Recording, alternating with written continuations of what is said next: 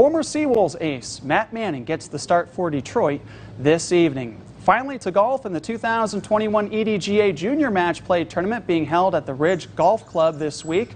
Monday featured qualifiers in boys and girls competition on the par 3 15th. Kyle Westfall has this tricky pitch shot onto the green.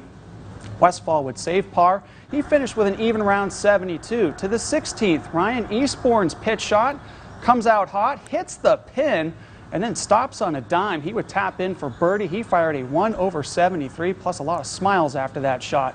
Jump to the 15th, Dylan Flinchbaugh.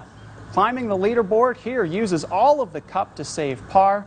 Then on 16, Flinchbaugh has this uphill putt for another par save as he is able to sneak it in. Over to the 17th now. Flinchbaugh punches this shot up nicely onto the green and rolls it to within another makeable putt. Flinchbaugh would go on to post the medalist honors with a 3 under 69. In the girls' draw, Elizabeth DeAndrea posted the top score of an 81. Staying with some of the boys' action on 17, Colt D. Simon knocking down the birdie putt.